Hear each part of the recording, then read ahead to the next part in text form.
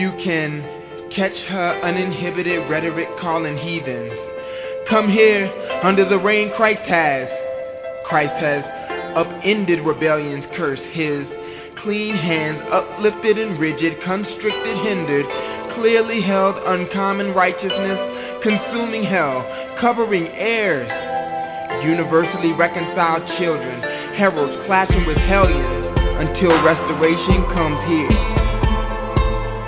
Characterized heavily by uprightness, righteous, categorized heavenly, captured, happily unique, redeemed. Christ's humility unbound remaining chains.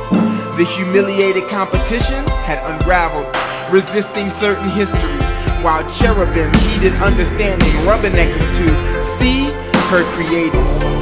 This historically unprecedented redemption captured hearts, completely healing unregenerate rivals, condemnable heretics, crooks, hooligans, useless rioters, creepy hoodlums, cowardly haters, uncouth, rotten criminals.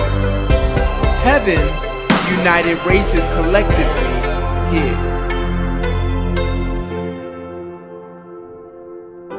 Christ has unified rebels in complete harmony.